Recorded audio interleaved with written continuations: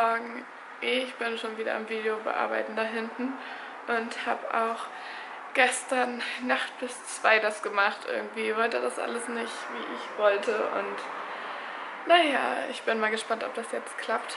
Wir werden uns jetzt fertig machen, dann werden wir frühstücken und dann geht es auch schon los ins Gelände. Ja. Um 11.44 Uhr müssen wir alle spätestens da sein, denn da startet Luis und das wollte ich unbedingt sehen.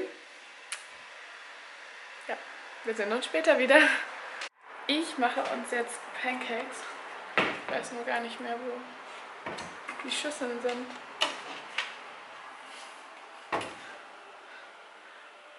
Waren sie? Da war nichts.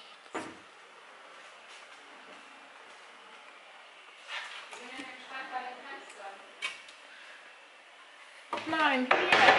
Ich habe sie gefunden.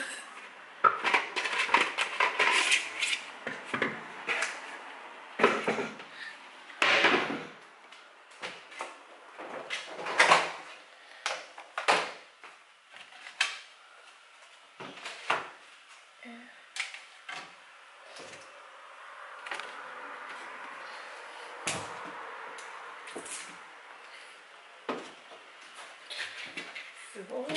Das will nicht rein. Ähm, dann. Haferflocken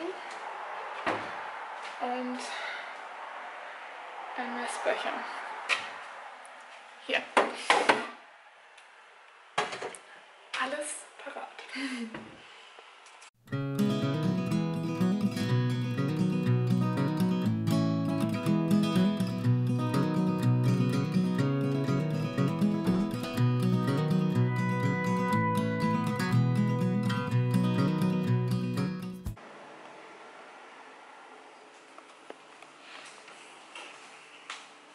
jetzt schnell Frühstück gemacht. Und jetzt wird schnell gegessen, bevor es losgeht. Und wo ist jetzt P18? Alter, ich drehe echt noch durch. Hier sind wir wieder bei Ikiba. Da steht wieder die andere. Katie kann dir bestimmt was sagen.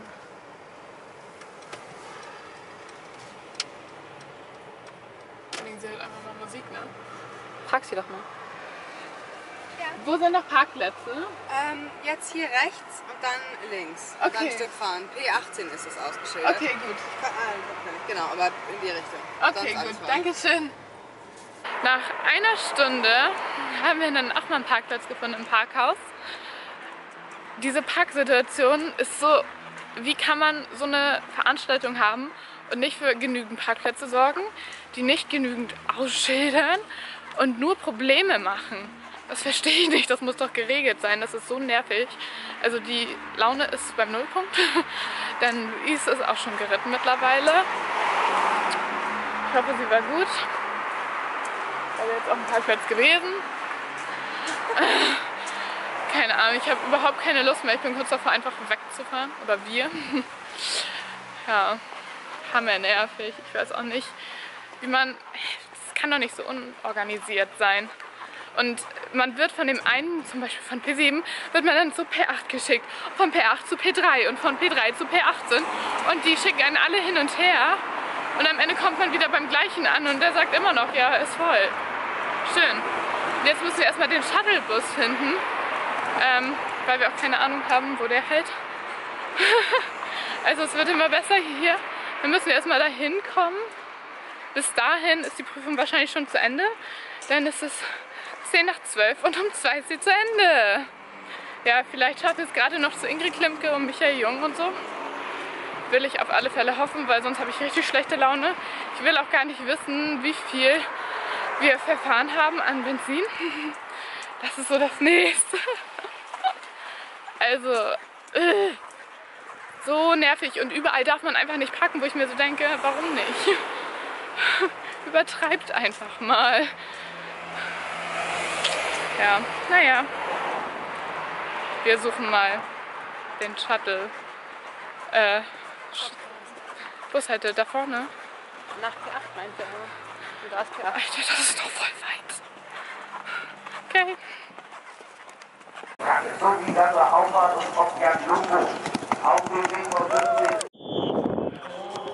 Alles. Ach, ah, die werden da zurück. Weg von 50 sind jetzt auf der Geländestrecke. Eine halbe Stunde später, weil der Shuttle sich verfahren hat quasi oder falsch gehalten hat und ich drehe durch. Also wir haben gerade Sandra Auffahrtstart gesehen und jetzt kommt noch Michael Jung und ich glaube Ingrid Klimke und dann ist aber auch schon zu Ende. Und das war das wichtigste Springen für uns. Richtig nervig.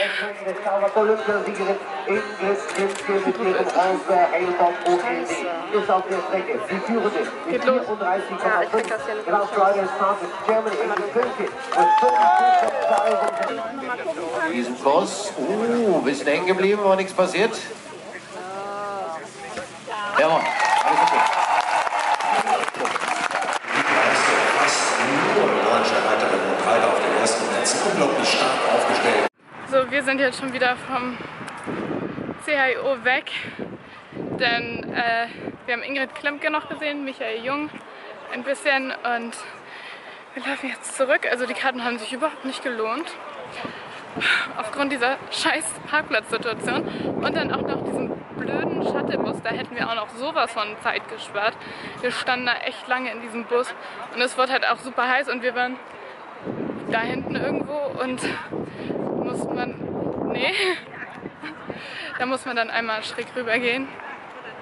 Ähm, ja. Und sie hat uns dann einfach nicht rausgelassen, die Busfahrerin.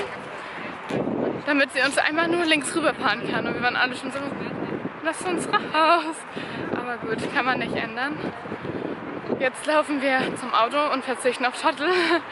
Aber vielleicht, wenn wir Glück haben, können wir den Parkplatz heute Abend noch benutzen. Da gucken wir noch das Springen. Was halt super schade ist, weil die Geländeprüfung wäre halt genau mein Ding gewesen. Und das war für uns beide am wichtigsten. Und jetzt haben wir so wenig davon gesehen. Was halt super ätzend ist. Und wir haben alles rechtzeitig geplant und so. Aber niemand konnte wissen, dass wir über eine Stunde einen Parkplatz suchen. Naja. Und wir machen uns jetzt auf den Weg zum Auto und wir sind am überlegen, ob wir halt noch nach Köln fahren in die Stadt und da ein bisschen oh, windig hier. Wir müssen jetzt noch voll weit laufen, da wir zu früh in die Straße gegangen sind. Jetzt müssen wir noch mal komplett dahin. Aber wir können schon das Parkhaus sehen. Hat schon was Positives heute. Ich weiß nicht, heute geht irgendwie alles schief. Vor allen Dingen ist es heute super warm und es waren Menschenmengen da, das war eklig. Also das war echt, oh, man konnte nicht mal mehr durchgehen. Die durften auch von der einen Seite gar nicht mehr da rein. Aber anstatt das schon vorher zu verhindern, das weiß man doch, dass da viele Menschen kommen. Das war, keine Ahnung, also es war einfach super unorganisiert heute. Gestern war das voll gut organisiert. Aber ja, weiß ich nicht. Eigentlich, das ist ja schon längerer schon längerer. Das ist ja schon länger hier. Deswegen verstehe ich nicht. War das nur dieses Jahr so? Oder fällt es keinem auf? Ist das sonst besser? Ich weiß es nicht. Yay, wir sind im Parkhaus. Wir haben unser Auto. Super. Ich habe wirklich keine Lust mehr. Äh. Und wenn wir jetzt nach Köln fahren, können wir wieder Parkplätze suchen. Ich glaube, das funktioniert da besser als hier.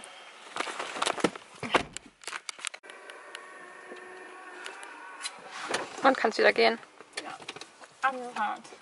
Gute Laune. Ah, Gute Laune. vergessen. Der eigentliche Grund, warum ich nach hinten gegangen bin und ausgestiegen bin, damit ich das scheiß Ladekabel schon mal rausholen kann. Dann, wir kennen unser Navi. Ich berechne. Mehr kann er nicht. Und mein Handy ist halt da Profi drin.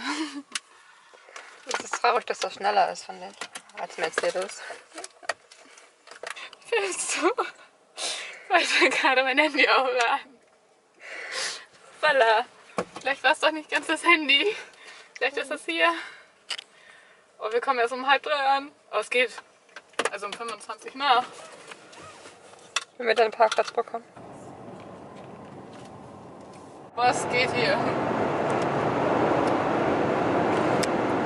Berechne, berechne, berechne. Meint das Navi jetzt also, dass wir neben der großen Straße fahren? Die Route wird neu Ja. berechnet. Ja. Wie? Und auf dem Ding. Was ist das? das ist, ach, da sind hier die Bäume wieder, ne? Ja, aber da können wir nicht fahren. Wald. Radio geht ins Ohr, bleibt im Kopf. Oh, jetzt ist er mir wieder entwischt, Herr Nachbar. Immer braun geworden. Wir sind in Köln im Parkhaus und haben jetzt ein anderes Parkhaus, weil genau die Straße, wo wir immer längs mussten, ist gesperrt. Also irgendwie alles gesperrt. Warum bauen die alle? Wer kommt auf die Idee, alles zu bauen? Warum nicht im Winter? Da hat doch eh keiner Lust rauszugehen.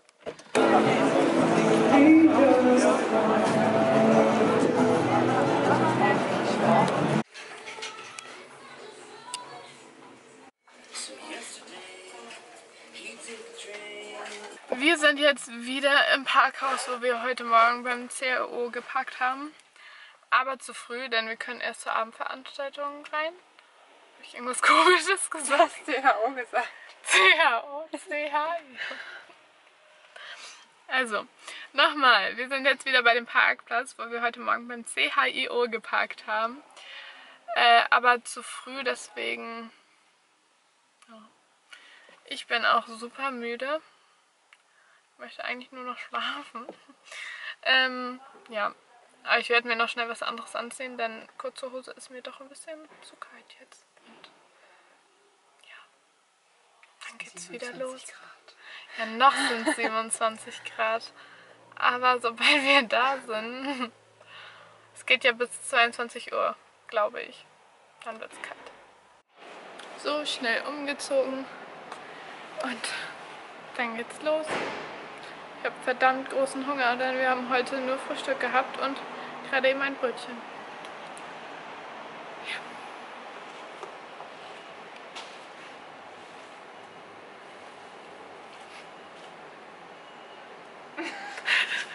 Sieht schön aus. Hm? Sehen schön aus. Los. Wenn ich jetzt auch noch Haarstylist. Ja, Trottel, ich habe keine Hand mehr frei. Kriegst du auch noch. Kannst ja wie gestern die auch noch glätten. Wenn du mir eine Steckdose gibst, mache ich das auch noch. Es war entspannt, wenn man das nicht machen muss. Ich hasse Haare.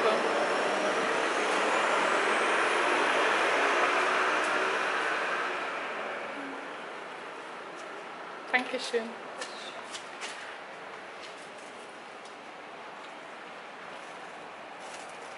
Fertig. Abfahrt. Ist auch gerade genug.